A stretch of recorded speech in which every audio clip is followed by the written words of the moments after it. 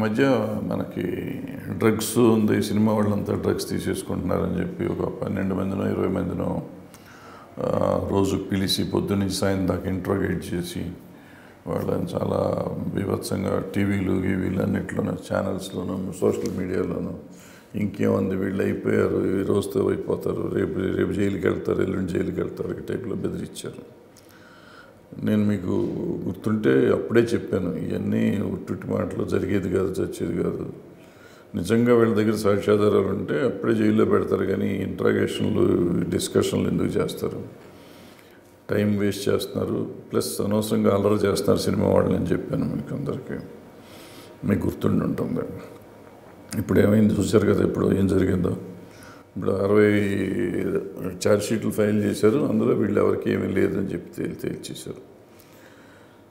ఎప్పటికప్పుడు ఏమవుతుందంటే సినిమా వాళ్ళు సాఫ్ట్ టార్గెట్స్ అయిపోవడంతో ప్రతిదానికి సినిమా వాళ్ళని చేసుకుంటాం వాడేయటం దీని అవసరానికి దానికి వాడుకోవటం అనేది పొలిటికల్గా అవుతుంది. ఈ పొలిటికల్గా వాడుకోవటంలో ఆ రోజు మైలేజ్ కోసం మీడియా ఈ సినిమా వాళ్ళని హైలైట్ చేసేసి ఇంకేముంది మొత్తం వీళ్ళంతా అయిపోయారు. వీళ్ళంతా రకరకాలుగా ఉంది. ఒక రోజు ప్రాసిక్యూషన్ కేసు ఎవరో ఒక అమ్మాయిని పట్టుకుంటే మొత్తం సినిమా ఇండస్ట్రీ అంతా చెడిపోయింది అంటారు ఇంకో రోజు ఏదో మీ టూ కేసు ఉంటే మొత్తం సినిమా ఇండస్ట్రీలో ఉన్నంత ఎక్కడ లేదు ఆడవాళ్ళ మీద అత్యాచారాలు అంటారు. ఇట్లా ప్రతిదానికి సినిమా వాళ్ళ మీద తోసేయటం ఓ నాలుగు రోజులైనాక అది ఏమీ లేకపోయేసరికి దాన్ని తెలియకుండా వదిలేయటం దాన్ని పట్టించుకొని కూడా పట్టించుకోరు. లేదంటే ఇప్పుడు మీరు ఎందుకు పట్టించుకోవట్లేదని మమ్మల్ని అడుగుతారు. చూసారా? అప్పుడు మిమ్మల్ని అల్లరి చేశారు కదా. మీ ఆత్మగౌరవం దెబ్బతినలేదా? మీ కోపం రావట్లేదా? మీ రక్తం ఉడకట్లేదా అంటే మేము రెచ్చిపోయి మళ్ళీ గవర్నమెంట్ని తిట్టాలా ఏం చేయాలి? ఇట్లా విచిత్రాలు జరుగుతూ ఉన్నాయి. ఎందుకు జరుగుతాయి అనేది నాకు తెలియదు దాని మీద వచ్చేదేంటో లాభం ఏంటో పోయేదేంటో నాకు తెలియదు ఇదే పనిలో పని ఆంధ్ర ఈ రెండు రాష్ట్రాలు అయిపోయిన కాడి నుంచి చాలామంది మిత్రులు ఆంధ్ర నుంచి నాకు ఫోన్ చేస్తూ ఉంటారు. తెలుగు రాష్ట్రంలోకి ఎప్పుడు వస్తుందండి? ఆంధ్రాలోకి సినిమా ఇండస్ట్రీ ఎప్పుడు వస్తుందండి? ఎప్పుడు వస్తుందండి అంటుంటారు. ఎప్పుడు రాదని నేను చెప్పాను. దాని అంతటా అది వస్తుందేమో కానీ వైజాగ్లోకి ఇక్కడి నుంచి షిఫ్ట్ అవటం అనేది జరగదు అన్నాను.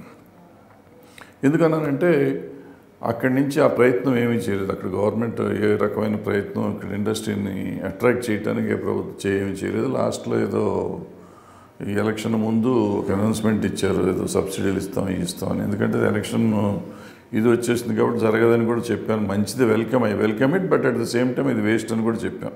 ఎందుకంటే ఎలక్షన్ అయ్యేదాకా అది ఏమీ లేదు. వాడకంలోకి రాదు. వాడకంలోకి రాకుండా అట్రాక్ట్ చేసే జీవోలు మనకు అనవసరమైన జీవోలు కదా. అటువంటి జీవో అది అని చెప్పాను.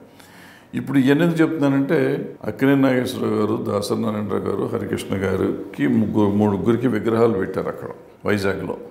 ఈ మూడు విగ్రహాలు మొన్న ఎత్తేసారు గవర్నమెంట్ మున్సిపాలిటీ అధికారులు. మూడిటికి పర్మిషన్ లేదని తీశారు. ఆల్మోస్ట్ వన్ ఇయర్ అయిపోయినట్టుంది అవి పెట్టి. పర్మిషన్ లేకపోతే గంటా శ్రీనివాసరావు గారు దానికి ఓపెనింగ్ చేశారు మినిస్టర్ గారు. మినిస్టర్ ఎలా ఓపెన్ చేశారు? అది మున్సిపాలిటీ వాళ్ళు అప్పుడేం చేశారు? ఇప్పుడు కోర్టు నుంచి కేసు ఆర్డర్ వచ్చిందని చెప్పి ఇప్పుడు ఎలా తీశారు? ఎందుకు తీశారు? సినిమా ఇండస్ట్రీ కావాలంటారు. సినిమా ఇండస్ట్రీలో దాసనారాయణరావు గారు అక్కినే నాగేశ్వరరావు గారు అసలు వాళ్ళని ఎంతో గౌరవిస్తూ ఉంటాం. ఎంతో పెద్దవాళ్ళు ఇండస్ట్రీకి సేవ చేసిన వాళ్ళు. వాళ్ళని విగ్రహాలు పెడతాం అనేది ఒక అదృష్టం కింద ఫీల్ అవ్వాల్సిన పోయి ఉన్న విగ్రహాలు తీసేయటం అనేది అది కోర్టు ఆర్డర్ అంటున్నారు.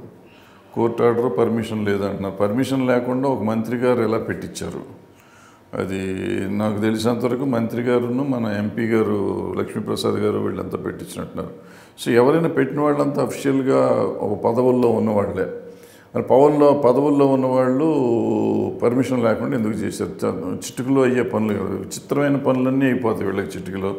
ఈ చిన్న పర్మిషన్ తీసుకోవడం ఎందుకు కాగలేకపోయింది అలాగే ఆ ఊరు నిండా చాలా విగ్రహాలు ఉన్నాయి. ఆ విగ్రహాలు ఎందుకు తీయలేదు? ఇది ఈ మూడింటి మీదే ఎందుకు పడ్డాను సినిమా వాళ్ళ విగ్రహాలు మాత్రమే ఎందుకు తీయించారు? కేసు పెట్టిన వాళ్ళు కూడా. నాకు అర్థం కాలేదు. ఇట్లా రకరకాల ప్రశ్నలు. ఈ ప్రశ్నలకు దేనికి సమాధానం లేదు? అయితే ఉత్తరాంధ్ర దర్శకుల సంఘం వాళ్ళు పాపం నిన్న నిరాహార దీక్ష చేసినట్టున్నారు. ఇవాళ కూడా ఏదో దీక్ష చేస్తున్నారు. వాళ్ళకి అభినందనలు. అట్లీస్ట్ ఎవరో ఒకళ్ళు సినిమా ఇండస్ట్రీకి సంబంధించిన వాళ్ళు వైజాగ్లో వైజాగ్లో ఇప్పుడు మీరు అడిగారు కదా ఆంధ్రాలో ఇండస్ట్రీ ఎలా వస్తుందని. ఇప్పుడు చూడండి వాళ్ళు ఒక- ఒక- సంఘం చిన్న పిల్లలు పది మంది కొంతమంది కలిసి ఇప్పుడు సంఘం పెట్టారు. దాసనారాయణరావు గారి విగ్రహం తీసేసినందుకు వాళ్ళు నిరసన తెలియజేస్తున్నారు. సో ఇట్లా మెల్లిమెల్లిగా ఇండస్ట్రీ డెవలప్ అవుతుంది. ఆటోమేటిక్గా డెవలప్ అవుతుంది. డెవలప్ అయ్యి అది పెద్దదిగా జరుగుతుంది. ఇప్పుడు హైదరాబాద్లో వచ్చినట్టు వైజాగ్లో కూడా వస్తుంది. బట్ ఎప్పటికి వస్తుందో ప్రభుత్వం సహకరిస్తే తొందరగా వస్తుంది లేకపోతే ఓ ఐదు పదేళ్ళు పడుతుంది. బట్ ఏమైనా విగ్రహాలు తీసేయటం సినిమా ఇండస్ట్రీని ఇన్సల్ట్ చేయటం వాళ్ళని ఇండస్ట్రీకి ఎంతో సేవ చేసిన అక్కినే నాగేశ్వరరావు గారిని దాసనారాయణరావు గారిని కూడా ఇన్సల్ట్ చేయటం ఈవెన్ హరికృష్ణ గారిని ఇన్సల్ట్ చేయటం. పెట్టడం ఎందుకు? తీయటం ఎందుకు? ఎవరు పెట్టమన్నారు? ఏమన్నా పెట్టమని బతిమేలేరా వాళ్ళు? వాళ్ళు వాళ్ళు లేరు మనలో లేరు. మనలో లేని వాళ్ళ విగ్రహాలు పెట్టి వాళ్ళని ఇట్లా అర్ధరాత్రి ఏదో కొంప మునిగిపోయినట్టు తీసేయటం అనేది నిజంగా బాధగా ఉంది. దీన్ని ఖండించడం తప్ప మేము ఏం చేయలేము. హండ్రెడ్ పర్సెంట్ బాధతో కోపంతో చిరాకుతో దాన్ని ఖండిస్తున్నాను. ఎందుకంటే ఏం చెప్పలేం. Bye.